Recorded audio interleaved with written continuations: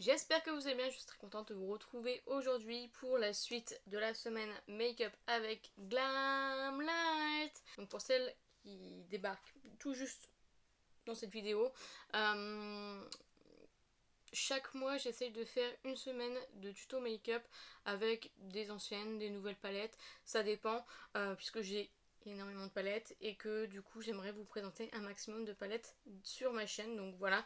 Et aujourd'hui on va s'attaquer à la euh, chocolate donut. Donc hier on a fait la chocolate glam et aujourd'hui on s'attaque à du neutre. Donc voilà. Donc elle arrive comme l'autre dans un gros packaging comme ceci. Euh, toujours euh, cruelty free et vegan crois qu'hier j'ai pas dit que c'était vegan mais c'est cruelty free et vegan. On est toujours sur une palette en forme de donut un peu euh, rembourrée comme ceci que je trouve très très moche. Mais bon ça c'est une question de goût.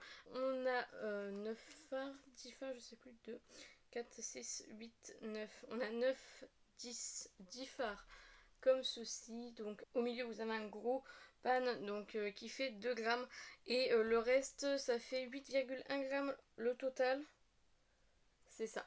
Donc c'est plus léger que euh, l'autre palette, il me semble que c'était 9 grammes le total pour l'autre si je dis pas de bêtises. Donc voilà. Euh, on a pas mal de fards lumineuses. Trop trop chouette. Franchement elle est très très belle. Et euh, voilà. Le highlighter peut servir enfin le gros pan peut servir en highlighter.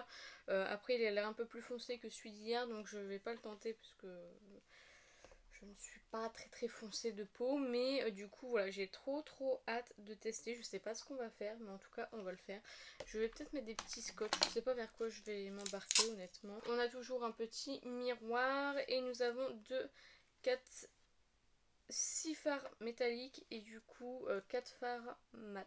Je vais prendre la teinte double chocolate qui est juste ici qui est un marron, euh, qui est le marron plus foncé de la palette. Je vais venir faire un... Donc j'ai toujours mis ma base Pelouise comme d'habitude et je vais venir faire une petite virgule.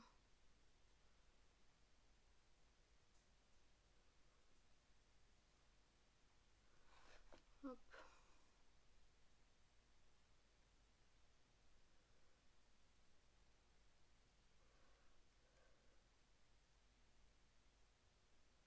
Je vais venir estomper avec la teinte Sweet Filing.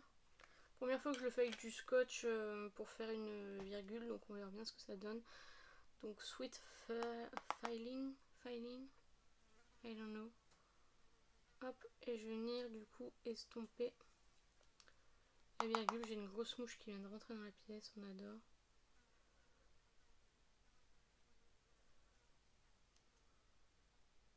Bien estompé. Donc là, je vais prendre ma base Pelouise et je vais redéfinir du coup euh, le dessous avec du coup.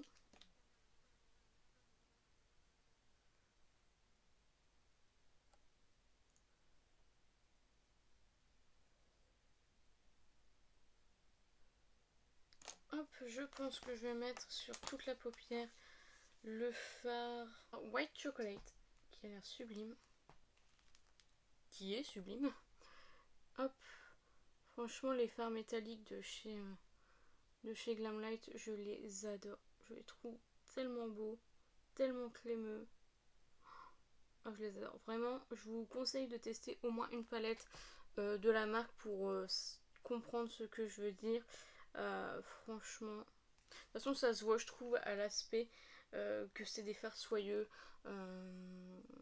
comme les petites palettes Beauty Bay euh, de 20 fards, euh, on voit tout de suite que ce sont des fards euh, soyeux. Je vais faire. J'ai bien envie d'utiliser le liner de chez Sephora en collaboration avec Marion Caméléon. Ça fait bah, depuis que j'ai fait le crash test, je crois que je ne l'ai pas réutilisé, donc on va le faire aujourd'hui. Donc en liner alors, le problème c'est que j'ai pas fini mon make-up en même temps, je peux pas le finir. Je vais juste mettre en coin interne le euh, chocolate glaze juste avant. Donc voilà. Je ferai le dessous de mon oeil juste après. Hop, donc du coup, eyeliner. C'est vrai que j'y avais pas pensé, mais en faisant avec un scotch, franchement, je trouve ça tellement plus facile de faire un trait de liner que euh, bah maintenant, en fait, j'en fais tout le temps. Bon, en rat seal, du coup, je vais mettre le euh, double chocolate. Donc je vais venir nettoyer juste après. Hop.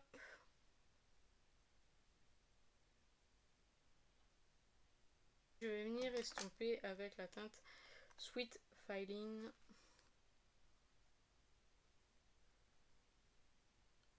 Hop, je prends un petit goupillon et je nettoie du coup le liner.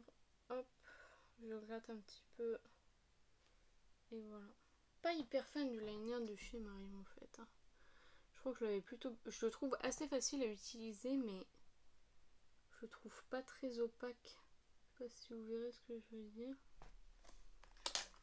J'essaie de repasser encore un petit peu dessus, mais je vais arrêter de toucher là parce que sinon je vais faire pire que mieux. Et je vais venir mettre le mascara Lash Freak de chez Urban Decay qui est bientôt terminé, je suis trop contente. Et je vais venir mettre en muqueuse le crayon Charlotte Tilbury en teinte Barbarella Brown. Donc voilà pour le premier œil, je vais aller faire mon deuxième œil et je reviens juste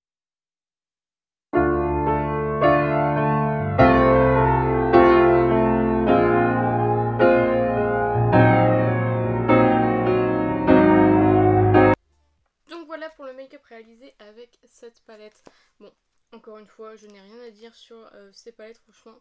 Très très jolie palette. Bon, j'ai raté cet œil-ci pour la simple et bonne raison que j'ai fait mon trade liner, j'ai ouvert ma paupière. Le trade liner a fait une grosse barre là, du coup, j'ai essayé d'avoir comme j'ai pu, mais franchement, catastrophe ce, ce make-up, ça me saoule. Il y a des jours avec et il y a des jours sans, c'est plus un jour sans. Mais euh, cet œil là je suis très satisfaite. Donc euh, voilà, euh, franchement rien à dire sur, sur cette palette. Mis à part que le packaging franchement elle est pas terrible. comme je disais, je pense que ça c'est leur première palette. Maintenant ils font plus des palettes classiques, faciles à ranger. Et c'est beaucoup plus appréciable et beaucoup plus joli je trouve. Parce que ça franchement c'est très enfantin, très très moche ça sent pas très bon, etc. Donc euh, voilà. Mais en tout cas, au niveau qualité, rien à redire. Au niveau des lèvres, j'ai mis comme hier le High C de euh, chez Glamlight, du coup, qui allait très bien avec ce make-up pour le coup. Donc euh, voilà, voilà, c'est sur ce que s'achève la vidéo, j'espère sincèrement qu'elle vous a plu. N'hésitez pas à la liker si c'est le cas, n'hésitez pas à commenter, à me dire vous si vous avez testé cette palette, ce que vous en pensez, ou si vous avez testé d'autres palettes, ce que vous en pensez. Dites-moi tout ça en commentaire, j'en serai ravie. N'hésitez pas à vous abonner, à activer la cloche des notifications, n'hésitez pas à partager la vidéo, ça m'aiderait beaucoup. Et n'oubliez pas, la beauté est à la portée de tout le monde, je vous fais plein de petits kiss et je vous dis à bientôt